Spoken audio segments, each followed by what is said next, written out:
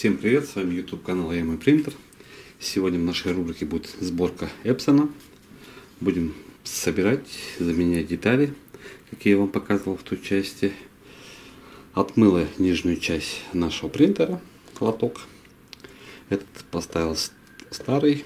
Сюда видим, когда я его помыл, такая получилась беда пришлось из остатков мне вырезать кусочки и поставить сюда. И этот заменил, потому что так его съежило. Надо было и не мыть его. Можно было так и оставить не сильно, что он был грязный. Ну, ничего не поделаешь.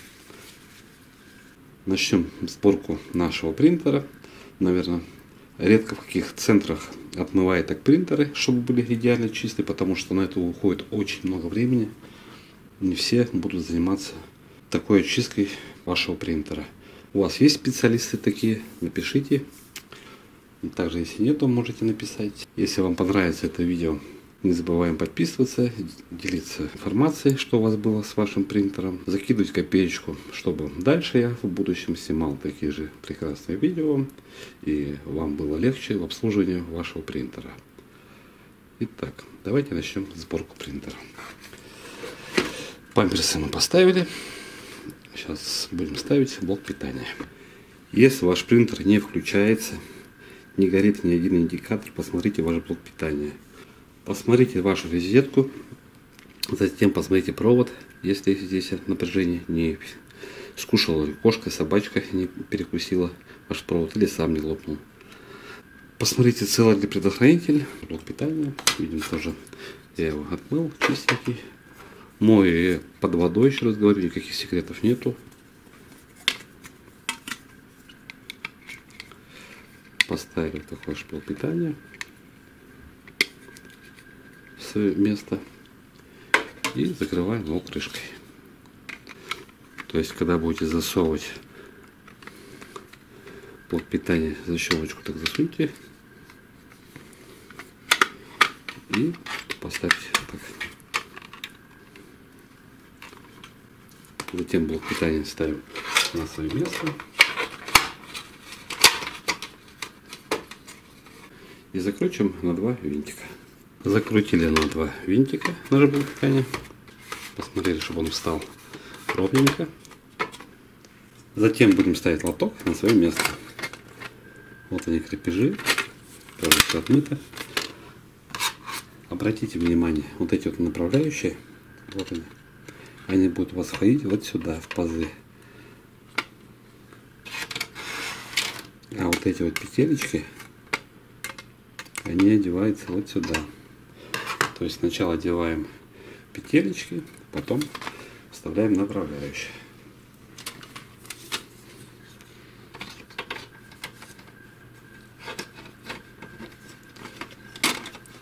Вот таким вот образом мы одели петелечки. Вставляем направляющий.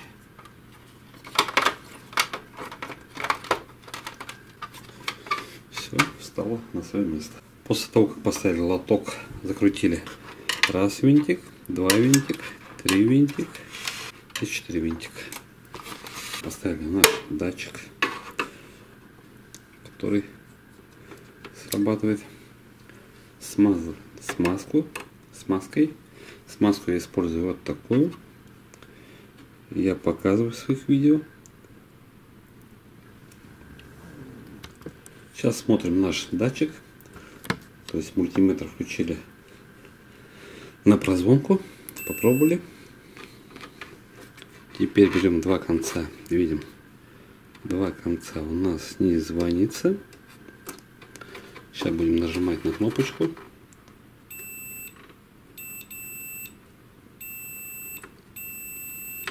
Все работает. Можно собрать дальше. Не спешите никогда с сборкой принтера. Лучше лишний раз бдить, чем потом разбирать 50 раз. Затем берем вот эту шестеренку. Вот это наша часть внутренняя. Она будет одеваться вот сюда, на эту шестеренку. То есть вот эта шестеренка заходит у нас вот сюда. Одели ее видим, наш поток спокойно ходит. Затем берем такую шестеренку, видим здесь конус и здесь конус. Она одинаковая. И одеваем вот сюда.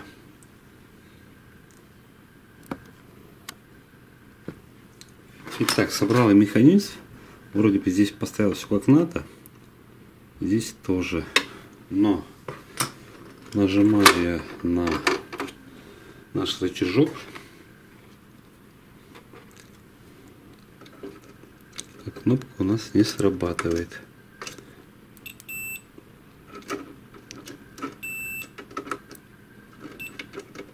Не срабатывает специально показываю косяк, чтобы вы смотрели тоже, чтобы у вас все работало. То есть вот у нас на этом механизме вот эта площадочка должна нажимать на кнопочку. И пока вы не добьетесь, чтобы у вас кнопка работала, мучитесь с этим механизмом. Итак, когда будете ставить, вот, вот эта штучка должна быть вверху, а вот это опущено почти в самый низ. То есть вот где-то такое положение ну, механизма. То есть видим. Поставили. Наш датчик сработал. Убрали. Наш датчик разомкнулся. Все. Этот узел собрали. Следующим образом будем собирать основания, но перед тем, как ставить двигатель, мне надо посмотреть, они рабочие или не рабочие. Если у вас нету лабораторника, можете попробовать. Вот я взял блок питания на 12 ватт. Конечно, у нас слабенько. Сейчас я включу вам от блока питания и от лабораторника, и вы увидите отличие, как будут вести себя двигатели. То есть это наш двигатель от энкодера колеса. Это наш двигатель, который я вам говорил, что он перегорел. А это э, такой же двигатель, только из другого принтера для опыта. Подключаем 12 ватт.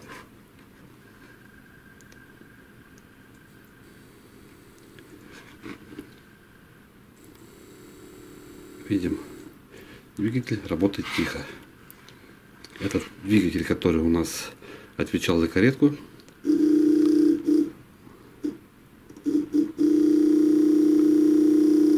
Слышим, идет гул.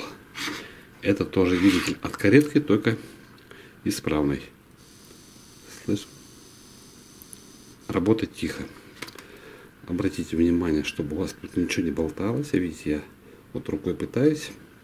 Все стоит крепко. У этого же ходит и отсюда выпадали ошметки. Видим, сыпется. То есть вот этот двигатель, он стоял здесь, который отвечал за движение каретки. В лабораторнике стоит 9 вольт. Слышим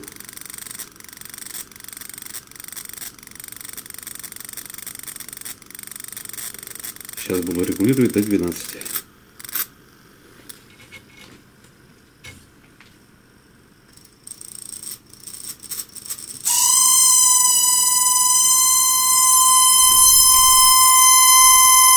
такой писк пошел. Сейчас при вас вот я никуда не ухожу. Подключаю двигатель. И то там не 12, а 11 вольт было есть.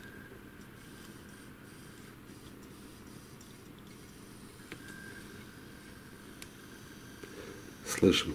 Тут такого звука нету. То есть таким способом вы можете посмотреть моторчик на вашу работоспособность. Подключаем двигатель теперь на энкодерну. Слышно тоже, да?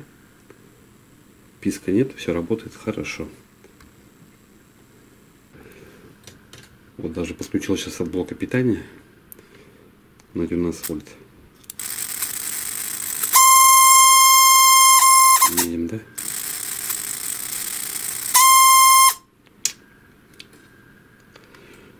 Что и требовалось доказать, что нужна замена двигателя. Еще раз говорю, перед тем, как собирать, смотрите все узлы. Как смотрите, я пытаюсь вам всегда показать. Проверить, чтобы потом лишний раз вам не лазить в принтер и не пересобирать его. Взяли нашу пару. Я попшикал спиртиком. То есть тут находится спирт. Пшикнул, почистил, чтобы быть уверенным также можете поискать в интернете, конечно, способы, как ее смотреть на целостность. Но думаю, она мне рабочая. Потому что вроде никаких проблем у меня с, с подъемом вала и опусканием не было. Теперь суем ее на свое место. Здесь две защелочки. Провод уложили.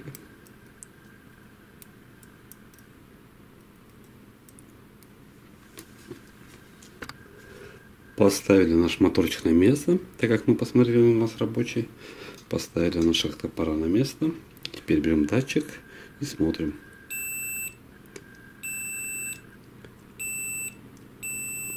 Датчик наш рабочий. Берем сначала вот эту часть, засовываем ее сюда.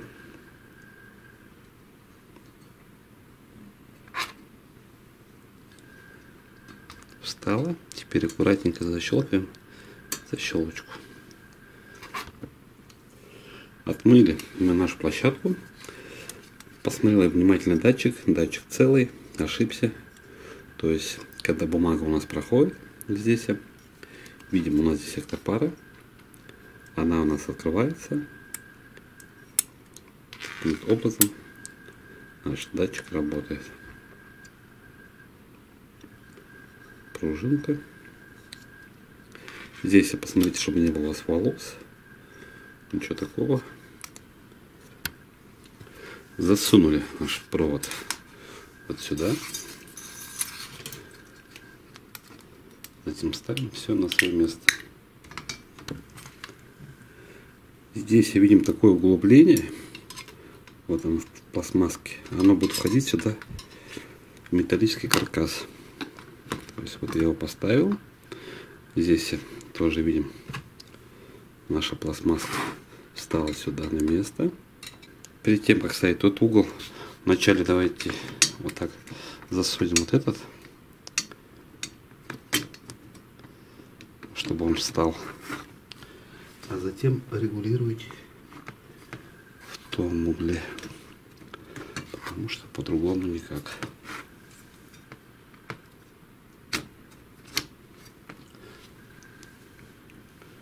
Сначала суем эту часть, потом регулируем здесь. И все встает на свое место. Затем закрутили сюда винтик. После чего поставили планочку. Обратите внимание, что вот эти все направляющие, которые вот это направляющая, вот это, встала на свое место. И закручиваем раз, два винтика и три винтика. Тут тоже, чтобы все встало на свое место. Также здесь направляющие. Когда будете ставить ролики протяжки бумаги, то есть вначале оденете эти петелечки, аккуратно поставьте вот так. То есть видим, стало на свое место. Затем будем засовывать наши пружинки. То есть берем пружинку, Видим здесь, где она расположена. Вставляем сюда таким вот образом. Защелкиваем. Берем вторую пружинку. Здесь она расположена наоборотненько. Так. Видим, здесь входить она не Значит.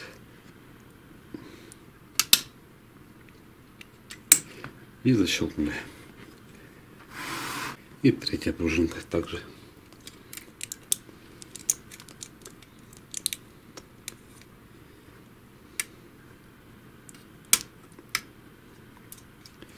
И защелкиваем ее.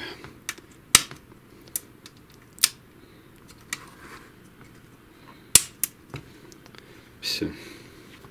Когда поставили все на место, попробовали листочек,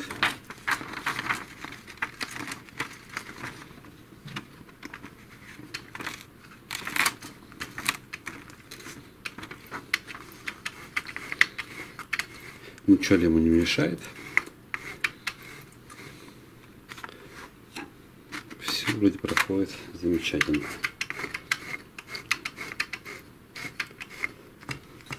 Заодно можете обратить внимание сразу на копару, на датчик прохода бумаги.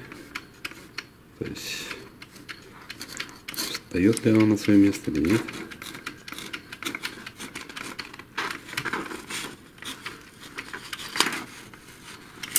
Все, датчик встал на свое место.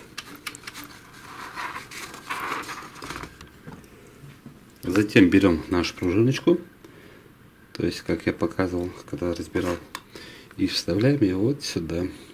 То есть здесь такое отверстие специальное под нее даже сделано. И вот таким вот образом она ставится. Все, зафиксировали. Тут здесь в таком положении.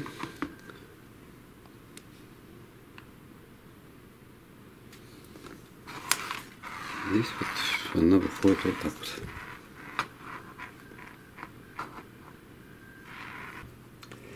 Итак, узел протяжки бумаги мы зафиксировали, закрепили. Если ваш принтер что-то мнет бумагу, значит у вас что-то попало здесь.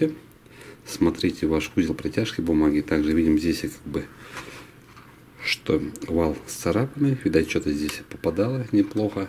И таким образом его сцарапало. Но это не критично. Затем ставим посадочное место и помпу. То есть, что это за узел? Когда ваша печатающая головка садится сюда, чтобы она не засыхала, вот это наше посадочное место, она, получается, прижимается к печатающей головке. Также, когда вы включаете на прокачку чернил, то есть, чтобы ваша система прокачалась через печатающую головку, здесь, видим, имеется помпа, там расположены ролик или два ролика. Вот она качает ее, получается. И отработка у вас уходит вот отсюда. Также здесь имеется у нас, когда вот видим, я поднимаю наше посадочное место. Имеется такая шестереночка. То есть вот выходит резиночка свою очередь она по площадке нижней, нижней части печатающей головкой очищается от нее. Когда будете чистить печатающую головку, не разбирая принтер, обратите внимание, чтобы вот этот узел у вас был чистый. Хотя бы накапайте сюда что-то, и чтобы у вас отсюда шла обязательно жидкость. Если у вас не будет идти, то есть у вас печатающая головка будет засоряться быстрее быстрее, потому что у вас не будет идти по прокачке. Если помпа у вас не работает, смысла чистить печатающую головку сильно нет. Она у вас некоторое время будет работать, потом опять засоряться, потому что чернилом некуда будет уходить. Как разбирать эту часть я снимал на Epson P50, можете посмотреть будем ставить ее на свое место. То есть видим здесь у нас отверстие, когда я разбирал, показал вам, что откручивать надо. То есть у нас винт находит, находится вот здесь. Вот выходит отсюда. Обратите внимание, чтобы вылетела эта шестеренка, здесь имеется такой паз. То есть видим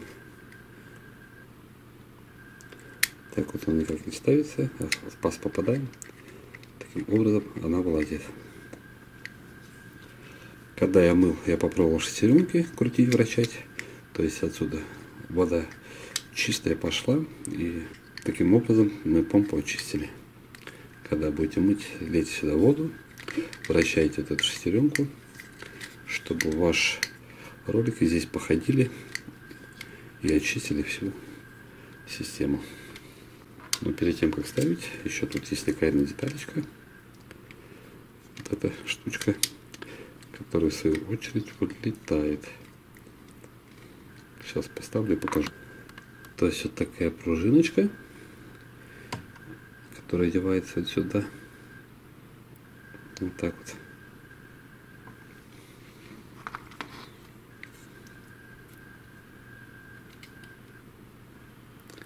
И здесь мы видим, она одевается вон туда. Так.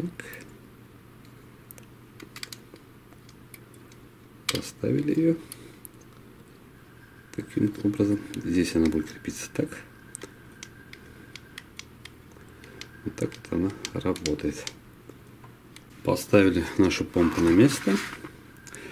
Попробовали язычок, работает. Попробовали посадочное место.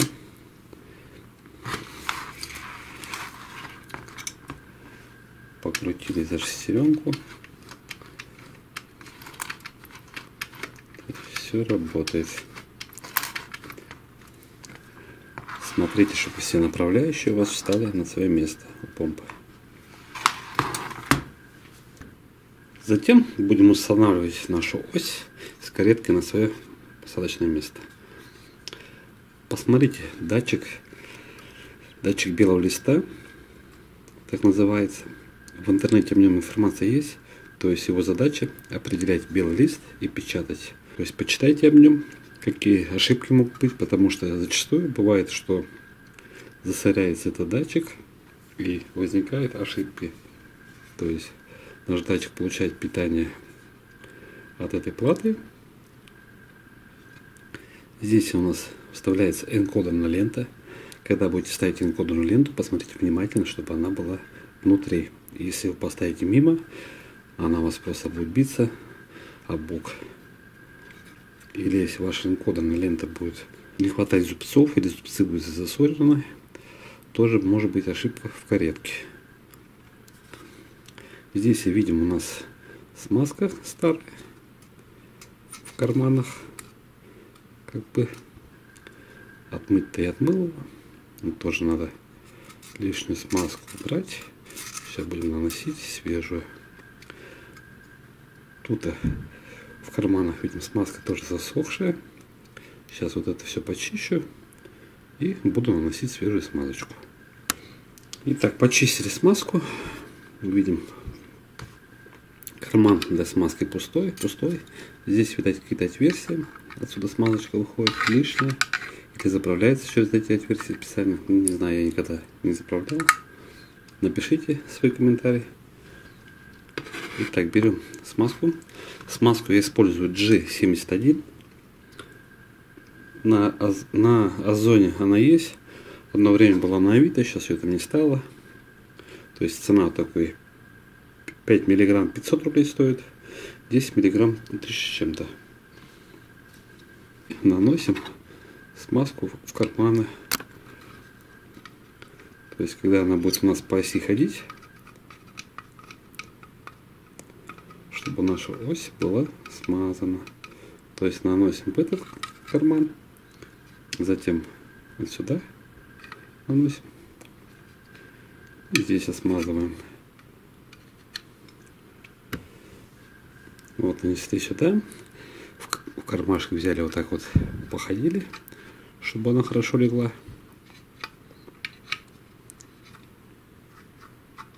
И с этой стороны также такую же операцию делаем. После того, как этот узел смазали, не забываем смазывать заднюю часть нашего принтера. И еще забыл показать, надо здесь тоже все смазать. Потому что вот эта наша часть ходит по металлической площадке. Видим, след от каретки идет. Тут тоже все смазываем. Перед тем, как ставить ось на свое место, возьмите вот эту деталечку и поставьте ее сюда вот. То есть у нас видим выемка. Вот она направляющая. Потому что когда поставите датчик на свое место, вы не сможете ее засунуть. Таким образом ставьте ее сразу.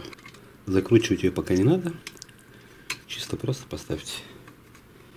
И сделайте ее до самого низа, чтобы освободить, чтобы ваша ось вошла сюда.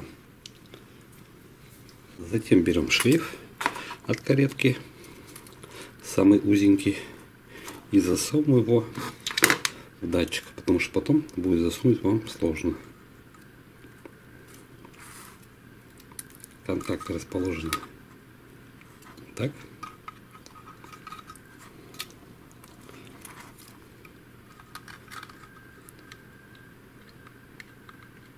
То есть вот этот у нас датчик, который считывает кодовую ленту.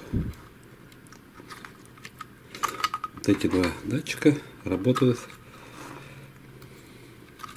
от этого шлейфа питания, то есть идет от него. И также одеваем ремешок сразу. Ремень одеваем, чтобы у вас зубья смотрели друг на друга. То есть, как вы снимали, в таком положении он у вас и будет одеваться. Тут видим такие зубцы. С, с обоих сторон эти зубцы должны у вас попасть вот сюда. То есть за счет этих зубьев у вас ремень не будет скользить, проскальзывать. Так, зафиксировали.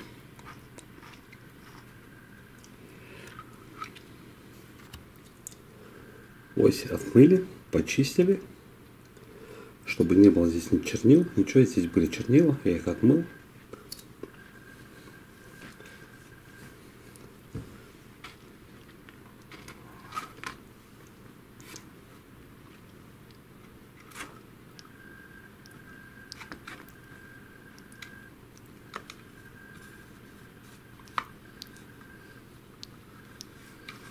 Плохо подходит, поджимается.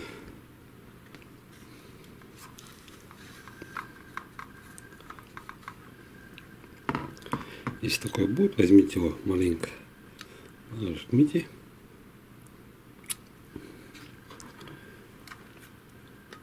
И засуньте заново.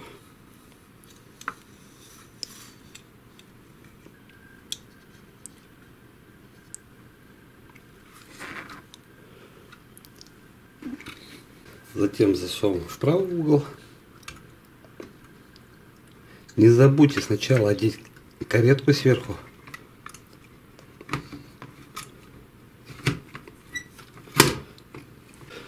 Поставили, вначале одели ее, потому что потом вы одеть ее не сможете на эту часть. Еще что накосячил. То есть, видим, ремень мы уже засунуть не сможем. То есть, перед тем, как одевать, засуньте ремень, ремень в серединку, чтобы он у вас там был.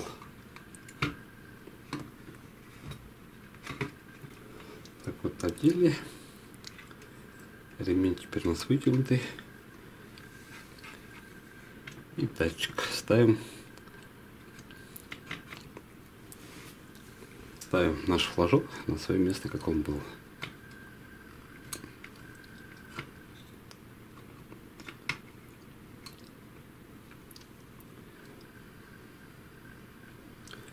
Поставили.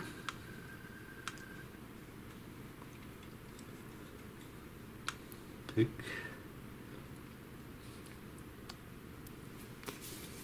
Таким вот образом одевается наш ось с кареткой. Так, что же это за датчик у нас такой? То есть здесь у нас идет как бы не целиком круг на датчике, а вот как потом будете снимать, посмотрите. Я что-то не показал, не обратил внимания.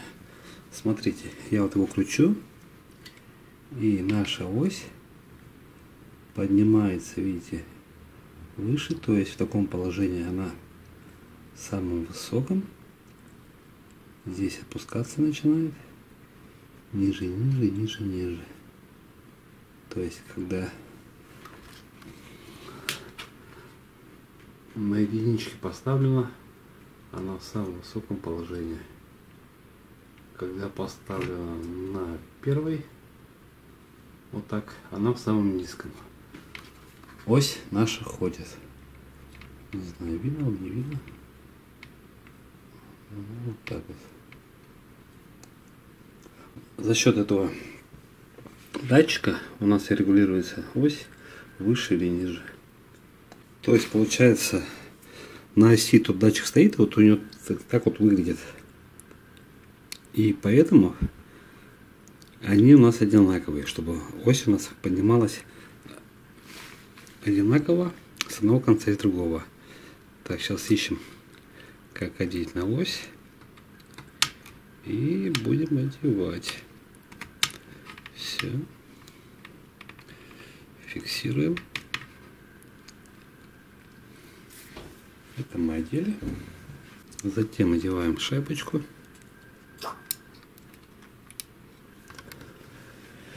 И то есть получается у нас с помощью вот нашей оси будем печатать на дисках, например, да, у нас она включается на самую высокую, то есть печатающая головка у нас поднимается. Потому что если будет одинаковая у нас высота, то по дискам она будет скряжить. Поставили там что-нибудь такое, она пониже, еще пониже, и бумага обыкновенно еще ниже. То есть э, у печатающей головки струйки рассчитаны на высоту. Вот этот датчик для этого и нужен. То есть, если у вас не будет регулироваться высота, обратите внимание вот на этот датчик. У вас как-то пара, значит, неисправна. Вот и все. С этим мы разобрались.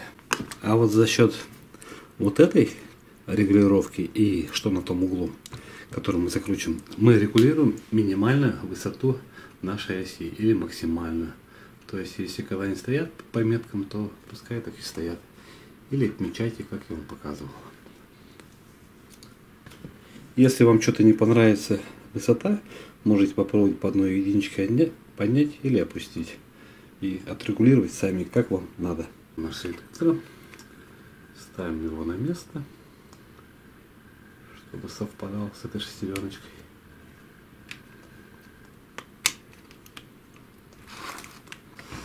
Поставили. Закручиваем на два винтика. Итак, закрутили на два винтика. Перед тем, как закручивать, покрутите маленько, чтобы у вас ваша шестеренка встала как надо. Ага. А теперь у нас идет следующий вопрос. Как же нам переключить ось, если она у нас никак не крутится, не вращается? То есть вот я кручу за шестеренку, и она у нас не вращается. Как же нам включить другое, выше ее или ниже? Видим, тут она застопорилась, и все, не хочет и ни выше, и ни ниже.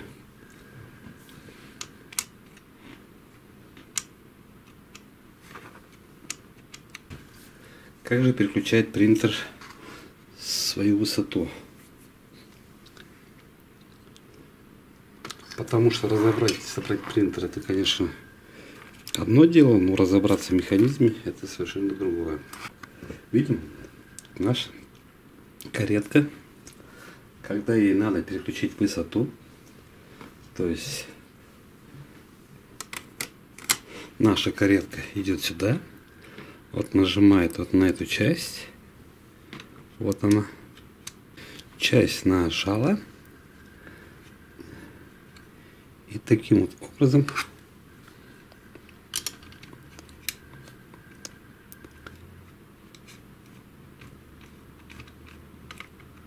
Она переключает высоту.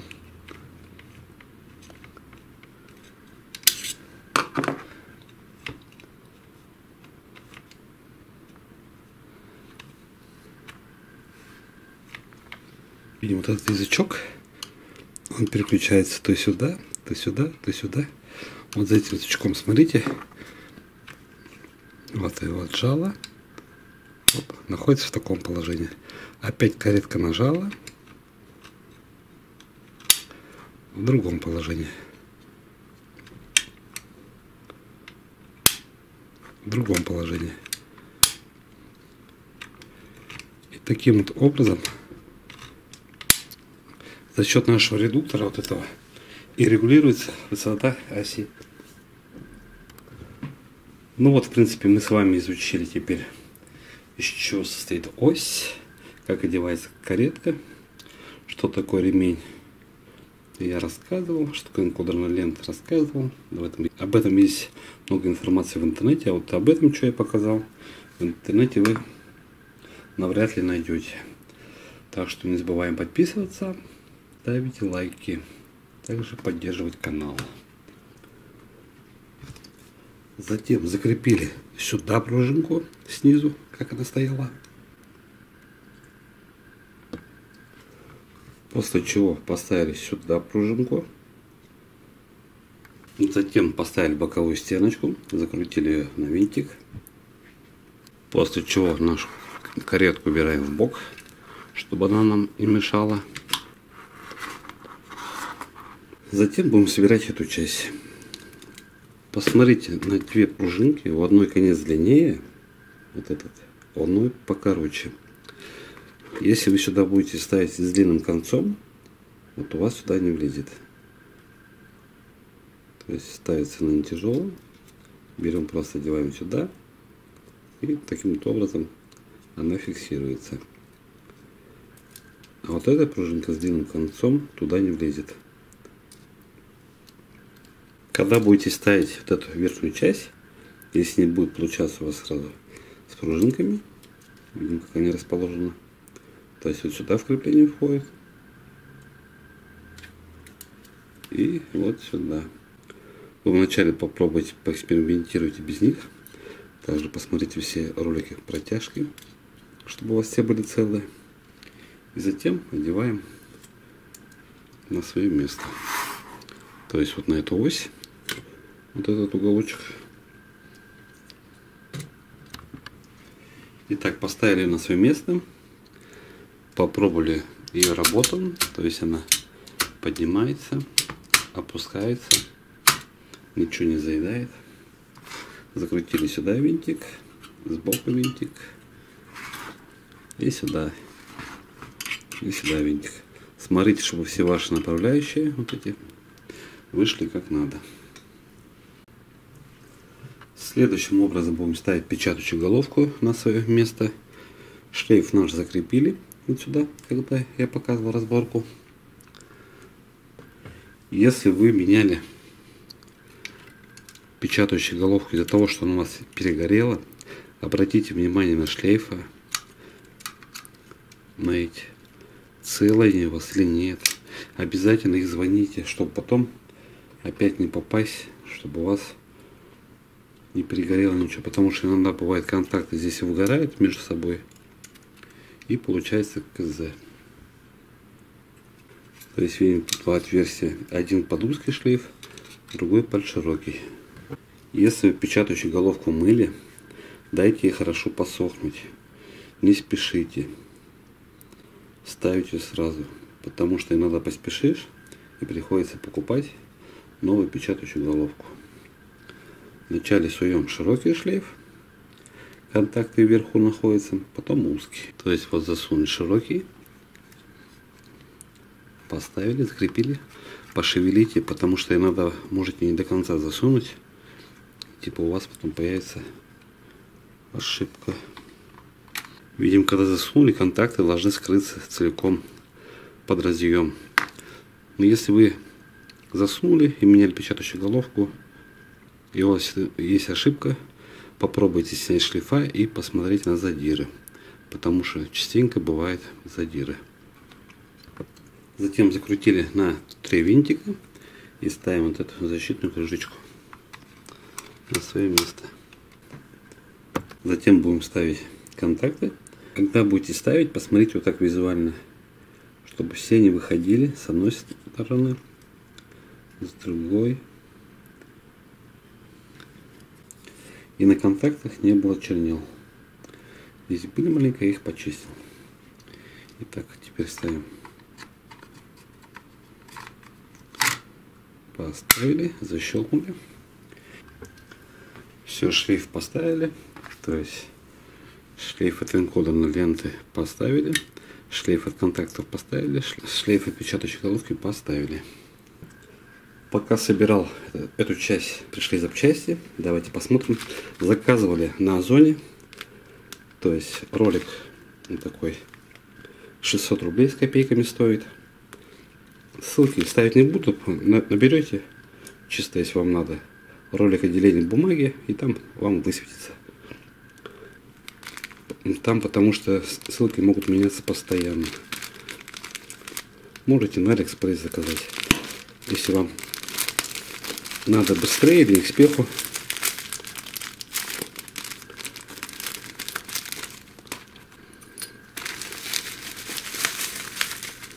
Вот так вот она упакована.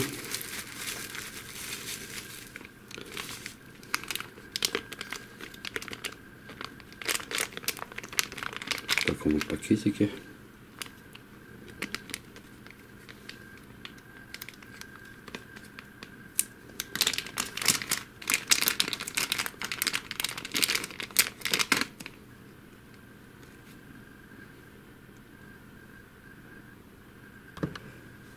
Вот отличие видим, тут такие еще шипы, как бы даже свеженькие. Вращаю я сюда, она крутиться не хочет. Обратно она вращается. В принципе, все идентично, одинаково.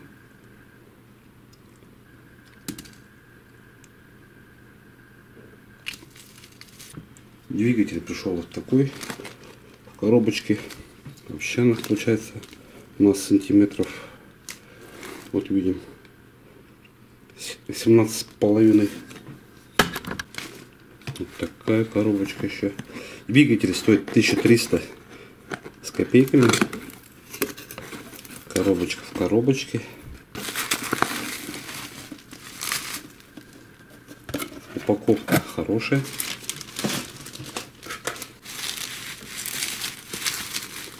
То есть не по ни картон, ничего такого. Угу.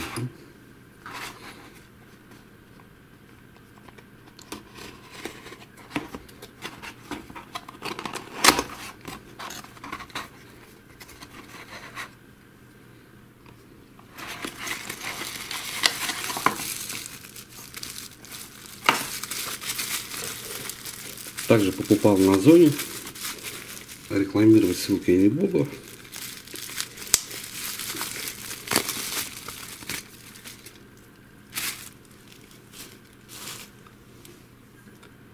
Видим вроде состояние нового. Упакован хорошо.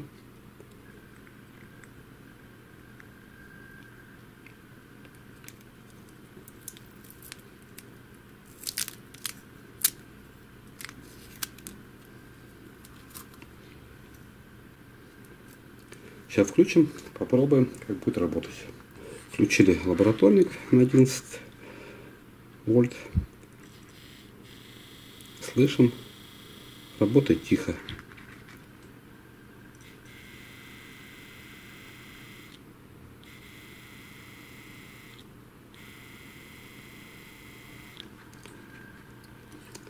Думаю, послужит. Ставлю его на свое место. В принципе, вот поставили наш двигатель. Работал, посмотрели. Работа нормально. Закрепили временный провод, чтобы потом можно было его натянуть, если что, подходить не будет. По той, когда будем ставить заднюю стенку, чтобы фильтр туда закрыть. Эти пока не закреплял сильно. Ну все, собираем другую часть. Отмыли мы узел захвата. Видим чистенький. Высохло все. Сейчас будем ставить все на свои места. То есть начнем с нашего ролика отделитель бумаги. Смазали наши вот эти направляющие. Засовываем один конец и второй легко заходит. Таким вот образом ролик отделения бумаги встал на свое место. То есть поняли, узле захвата вот эта часть у нас отвечает за отделение бумаги. Затем ставим нашу вот эту часть, длинненькую, беленькую. Потом я объясню, для чего она служит. Поставили вот этот угол. Затем плавненько переходим вот сюда и забрасываем. Видимо, она у нас не функционирует как надо, потому что наша пружинка не стоит на месте, как должна стоять. То есть вот эта пружиночка у нас не попала на свое место. Итак, поставили нашу вот эту ось на место. Теперь смотрим ее работу. То есть я нажимаю, она уходит. Значит, наша пружинка стоит как надо. То есть одна часть у нас упирается сюда, вторая сюда. Когда я снимал видео от Epson P50, почему-то пружинка вот эта у меня отсутствовала. Не знаю, ее не было ли с самого начала, или она так должна быть по конструкции. Напишите, если вы знаете. Потому что до меня его разбирали, и, возможно, кто-то забыл ее поставить. Будет очень приятно услышать от вас комментарий. Так, то есть две части поставили, которые отвечают за отделение бумаги и которые отвечают за выравнивание бумаги. Когда мы засовываем нашу бумагу, то есть вот по этим штучкам она выравнивается. Следующим образом будем одевать ось, где расположен ролик захвата. Если ваш принтер не стал захватывать бумагу, обратите на ролик захвата. Бывает у него износ. Или обтерите чем-нибудь хорошо, или отмойте, или закажите новый. Как менять, вы уже знаете. То есть вот смазали мы нашу деталечку. Затем видим здесь такое ушко кругленькое оно у нас одевается вот сюда. Вот. То есть вот так вот оно будет у нас ходить.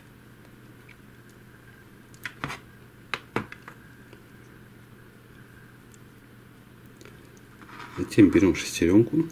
Один раз был случай в Эпсоне. Вот эти все шестеренки были сломаны, но не на этой модели. Я показывал. Теперь видим шестеренка ходит, но ничего ее не останавливает. Чтобы был щелчок, нам не хватает пружинки.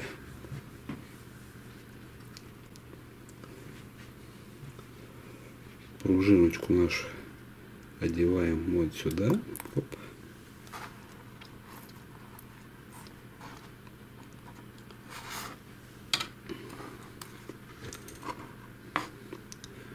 чтобы легче одеть вам, не мучиться. Можно сразу вот так вот ее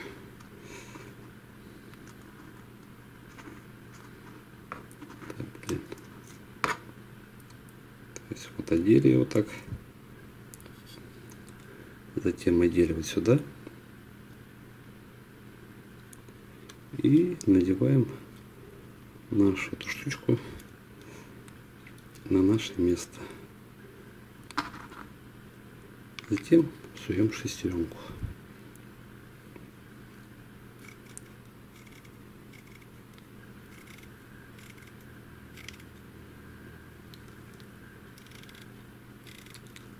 Слышим. Она у нас вращается, а обратно не идет. То есть вот за счет вот этого острого направляющего, который в свою очередь впивается вот сюда, в шестеренки. Таким образом работает этот узел. То есть, если у вас что-то с захватом бумаги, обратите внимание на эту часть тоже. Затем ставим толкатель бумаги, засунули с левой стороны, суем с правой.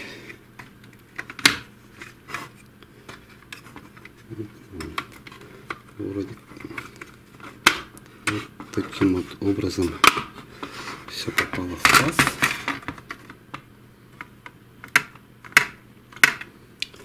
То есть толкатель бумаги у нас служит, он у нас толкает бумагу буквально на секунду.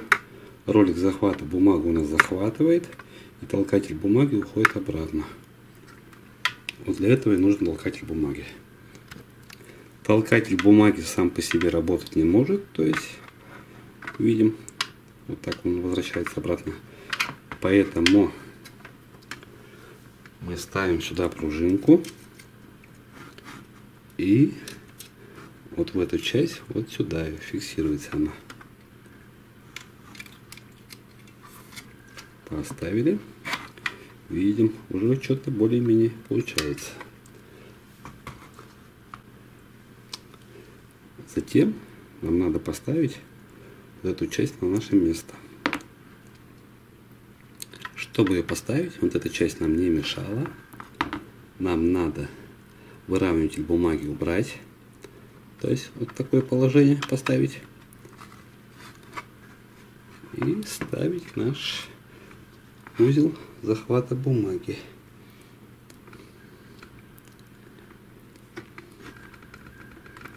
Так.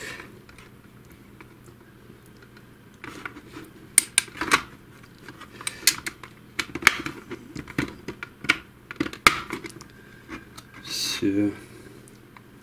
Что-то вроде получилось. Итак, если ваш толкатель бумаги не работает, обратите внимание на пружинку, вот на эти кулачки, которые в свою очередь будут нажимать на толкатель бумаги. А здесь вот на этот кулачок. Или что-то у вас под толкатель бумаги попало.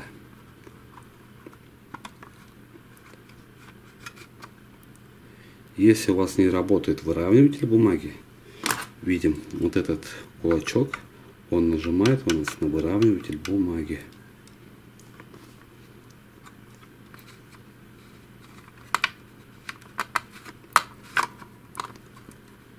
вроде круг сделали. Поставили вот эту нашу шестеренку.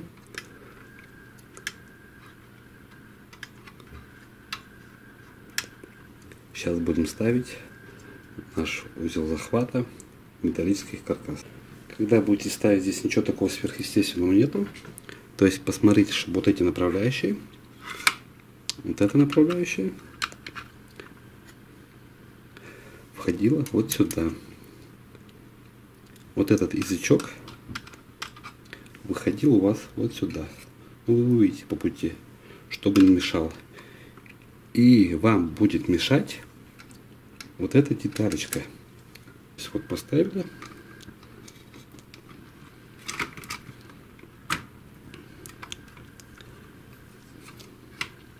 Видим, она не дает нам войти мы ее маленько отжимаем и ставим на свое место, чтобы ваша вот эта защелочка села на свое посадочное место.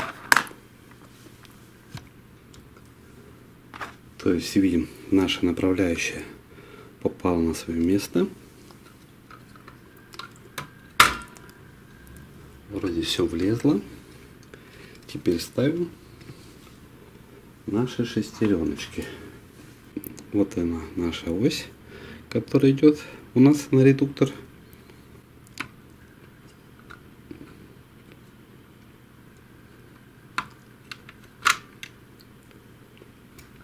Чтобы легче поставить, можете открутить два винтика редуктора, и она у вас легко встанет. Два винтика я не стал откручивать. Я посмотрел, думаю, одному хватит вполне. Теперь ставим эту нашу часть и ставим нашу шестеренку. Все вошло. Теперь закручиваем обратно наш винтик. То есть получается вот за счет вот этой оси и двух шестеренок работает наш редуктор который поднимает наш ось с кареткой вверх или вниз. Так что, если будет такая неисправность, обратите внимание еще и на эту шестеренку с этой осью. После того, как это все поставили, ставим нашу вот эту шестеренку.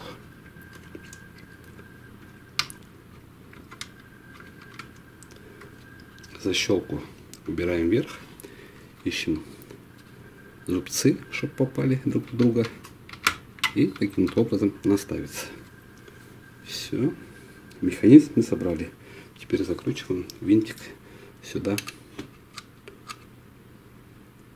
И в ту сторону, как и откручивали. Итак, подцепили все на свои места, как было. Без синей изоленты не обошлось. Потому что у меня нету такого белого скотча как у изготовителей Эпсона. Покупать его специально я нету необходимости. Если я не прав, напишите, чем их скотч отличается от нашей изоленты. Так, теперь нам надо посмотреть узел захвата. То есть у нас он захватывал по 2 по 3 листа. Давайте посмотрим, как у нас работает сейчас отделитель бумаги. То есть выполняем такую же функцию. Видим, кручу шестеренку, ничего не крутится. Беру маленько обратно. Оп, толкатель бумаги сработал. И пошел захватывать бумагу. То есть отделитель бумаги у нас, видим, вращается.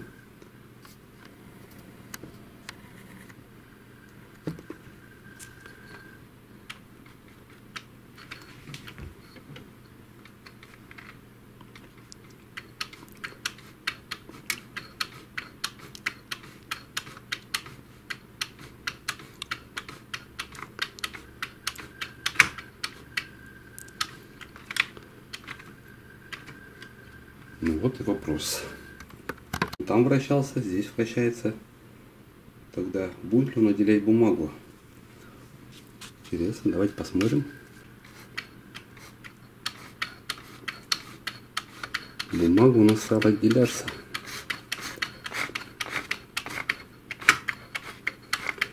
То есть таким образом мы смотрим узел захвата на захват и на отделение бумаги.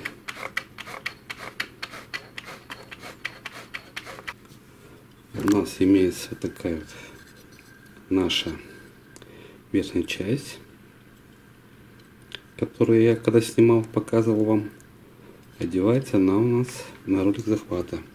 Суем ее, как она была. Отмыл я ее, видим маленькая здесь щеколда поломленная. Ну, думаю, ничего страшного. Свою функцию она выполнять будет. То есть, когда я разбирал, я показывал вот эти направляющие мне свою, в свое место, как они были. И потом сверху закрутим винтиком, и держаться у нас будет она крепко. Эта пружина у нас получается надавливает на ось, на кулачок. Для чего, я не знаю. Какую функцию она имеет, если вы знаете, напишите. Ну, в принципе, вот все. Поставили мы защитный кожух с этой, с пружинкой. Теперь ставим энкодерную ленту. Когда будете ставить энкодерную ленту, вашу каретку поставьте вот так. Ленту я мыл чистой водичкой и, и протер двумя пальчиками. Как я вам и говорил, ее тереть не обязательно. Перед тем, как ее ставить, посмотрите, чтобы ваше ушко было так вверх.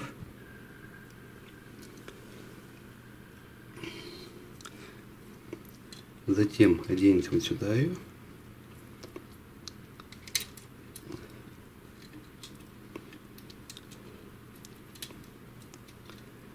Одели ее, развернули и засовываете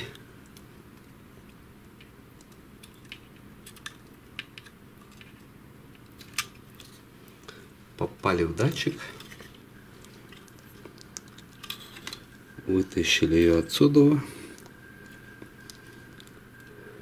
Закрепили ее, как она была.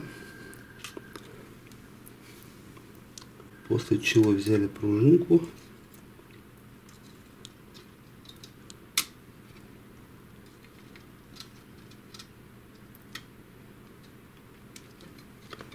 И поставили. Таким образом ставится энкодер лента. Еще раз говорю, обратите внимание, чтобы ваше ушко было вверх. После того, как поставили, еще раз потрогали энкодерную ленту, посмотрели в датчике она или не в датчике. Там вы видите вот такое окошечко, она просто должна попасть вот туда в окошечко. Ничего такого сложного нет. И так она должна у вас там стоять. Если вы мимо пойдете, пары датчика видеть не будет. Поставили наше основание в наш лоток, закрутили на 7 винтиков. Сюда два винтика, раз винтик, внутрь, сюда два винтика. И здесь 4 винтика. Это я показывал, когда разбирал.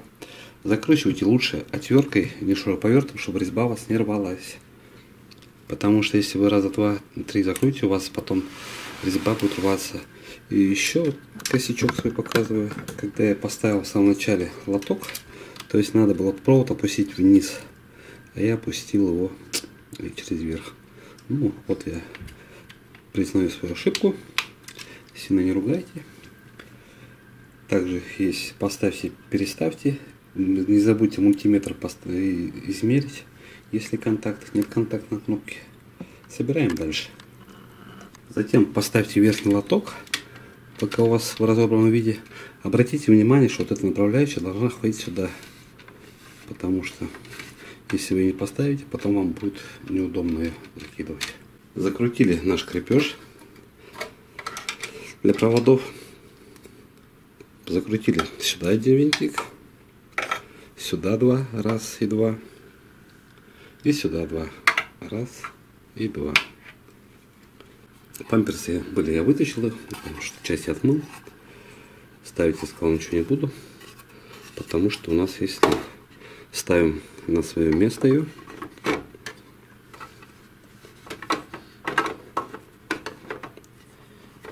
И закручиваем.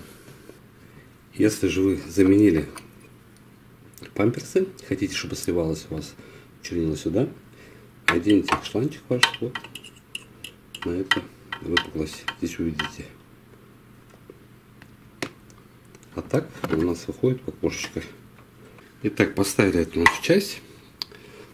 То есть закрутили вот сюда винтик, я показывал, когда разбирал. Сюда и сюда. Сюда не закручивайте, не надо. Поставили плату форматора на свое место.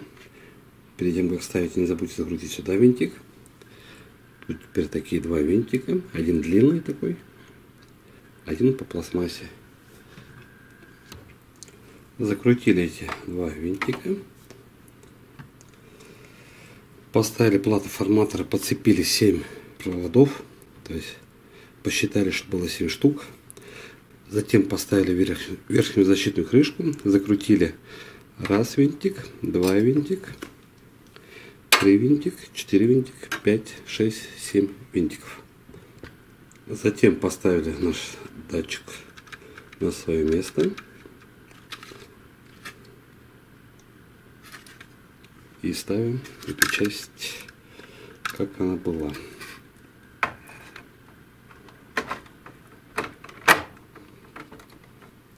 Закручиваем на один винтик. Закрутили на винтик. От датчика подцепили шлейф на плату форматора. После того, как закрепили этот винтик, закручиваем сюда два винтика, два, два и один сзади здесь. Одеваем наш подвод направления сюда. Затем одели две петли. Обратите внимание вот на эту площадочку, чтобы она у вас одевалась на пластмасску. И перед тем, как будете одевать шлейф, испытайте, как она закрывается, открывается легко или просто. Потому что если вы поставили не так, как надо, у вас она не будет открываться и закрываться. И подцепляем шлейф к платье. Следующим образом поставили вот так блок сканера, облокотили его на стеночку И подцепляем все шлифа в свои места, как они были. Затем ставим верхнюю крышку. И еще такой момент, когда будете одевать блок сканера, не закручивайте эту вот эту петлю сразу, как она есть. Вначале возьмите, поэкспериментируйте, как она одевается, чтобы потом вам не, не мучиться, чтобы легко посадили на свое место ее. Затем поставили на свое место и закручиваем на винтик. Итак, поставили верхнюю крышку, закрутили на этих винтов, все закручивать не обязательно, потому что если вам придется раскручивать, то придется опять все винты раскручивать. Сейчас ставим СМПЧ на свое место. Уже почти собрал принтер. Хотел подцепить, а подцепить никак не могу, неудобно. Пришлось опять снимать верхнюю крышку. То есть лучше сразу, пока в разобранном виде, подцепите ваш слив и уберите его аккуратно, чтобы потом не разбирать еще раз принтер. Самый долгожданный момент. Подключили питание. Включаем сеть.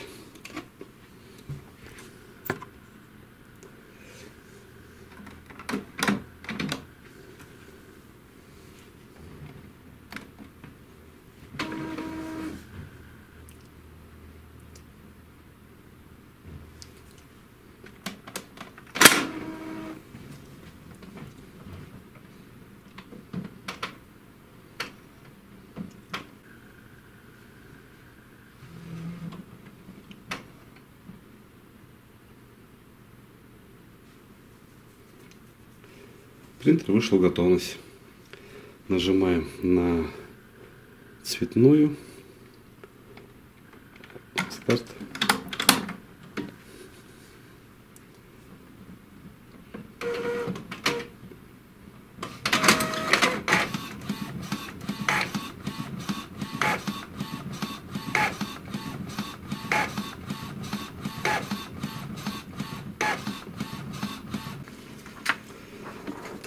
Печатающая головка стояла, отмыкала, сейчас я подключу Print Help и, и сделаю прокачку.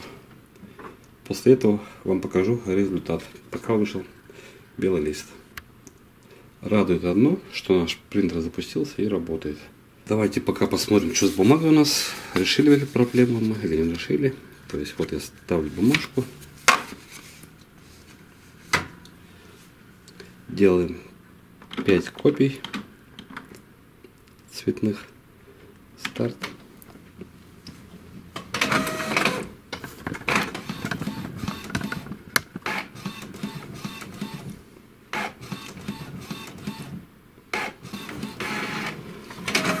Видим лист, выходит один.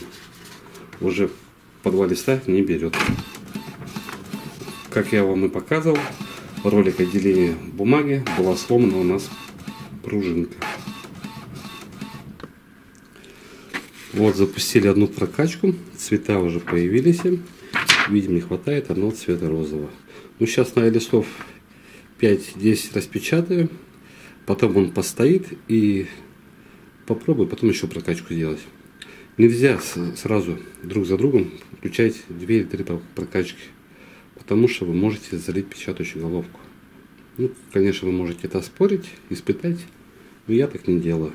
Идет тест, идет десятый лист. Видим, хоть мы и заменили двигатель, но когда дошла до десятого листа, у нас скорость печати упала, и он печатает тихо.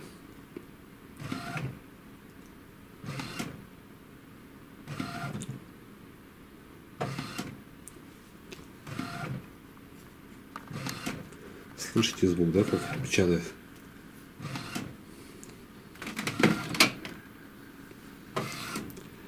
Хотя смазка у нас везде есть, все присутствует, двигатель новый, но почему-то вот так вот. Ну вот он отпечатывает лист. И что сказать, я вот не знаю. То есть вот, конечно, печатать. Хорошо, все цвета пошли. Почему такая причина у этого принтера? То есть 9 листов печатать ничего. а потом начинает так печатать. Запускаем печать тестов.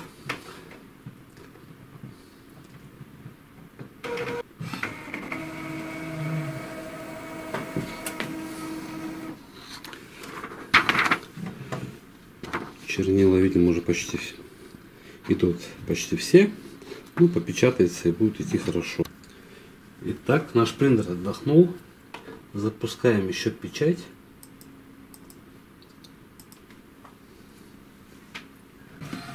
Видим, печать пошла побыстрее.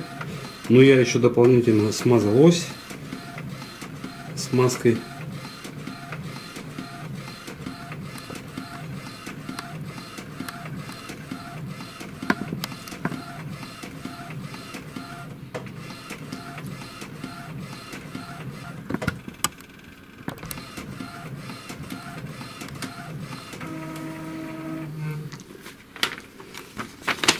Ну, в принципе, печать стала неплохая.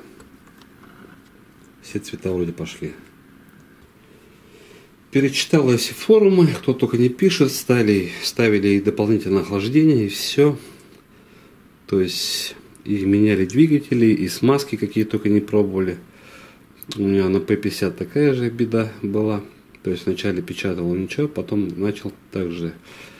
То есть, я думаю, все-таки дело в износе деталей, если мы сменили двигатель и все равно такая же у нас беда осталась, но хотя сейчас ошибки нету, до этого ошибка выходила, то есть мы видели, тот двигатель был в плохой, в плохом состоянии.